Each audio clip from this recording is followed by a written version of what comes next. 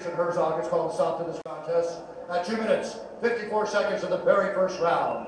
The winner by submission due to a rear naked choke, Mara Romero.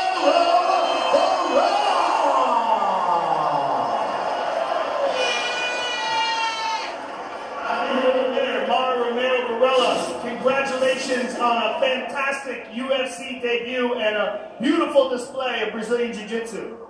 Uh, felicitações pelo bonito display da Brasília Jiu-Jitsu, uma apresentação espetacular, parabéns. Sono...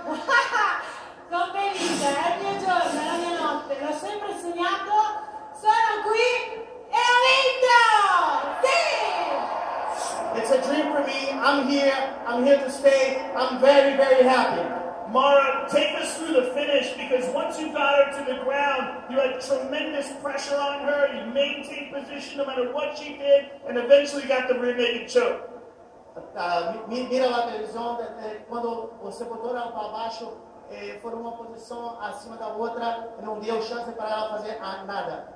Eh sì, uh, abbiamo lavorato, anche se in una settimana abbiamo lavorato per questo match. ho avuto il preavviso di così poco tempo e abbiamo studiato. E questo quando era a terra era calma, provare a stabilizzare, finalizzare.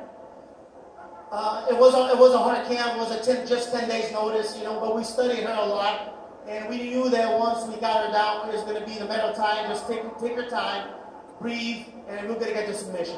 Congratulations on a spectacular debut. Mara Romero